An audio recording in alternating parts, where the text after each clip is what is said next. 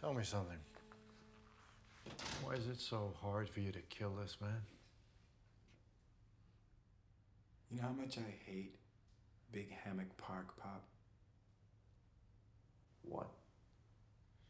Ever since I was about 12 years old, we would shoot turkeys there for my birthday. And I always hated it. But I was an orphan, right? So how would we even know when my birthday was? But you never seem to notice, so we just keep going. Okay, so next year we'll try Chuck E. Cheese. Yeah. You, me, and the lab guys who made me.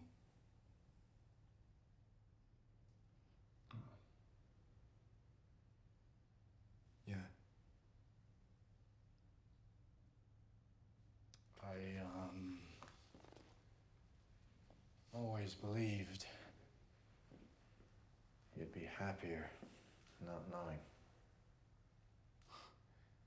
Happy. You know when I'm happy, Pop? When I'm flat on my belly, about to squeeze a trigger. It's the only time I'm happy. And this wasn't even a mistake. It's not like you got someone pregnant and then had to man up and raise me.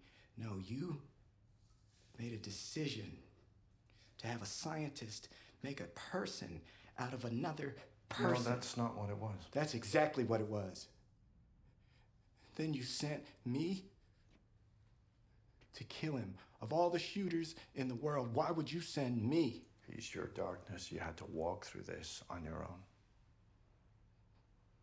Maybe you're my darkness. That lie you told me that my parents dumped me at a fire station.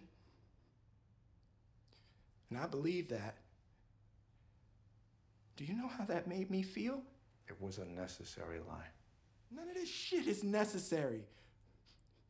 You made a choice to do this to me. Can't you see how not okay I am? Bullshit! You forget who you're talking to, Junior. I've seen battle.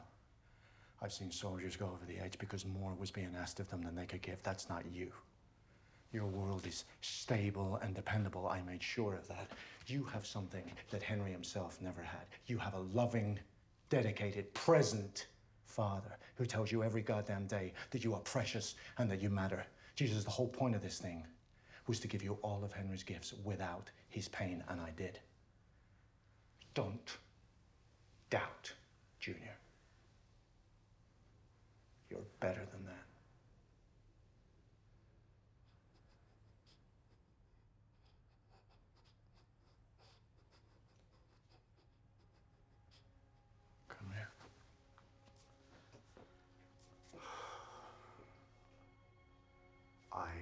Love you, son. Just don't let yourself down.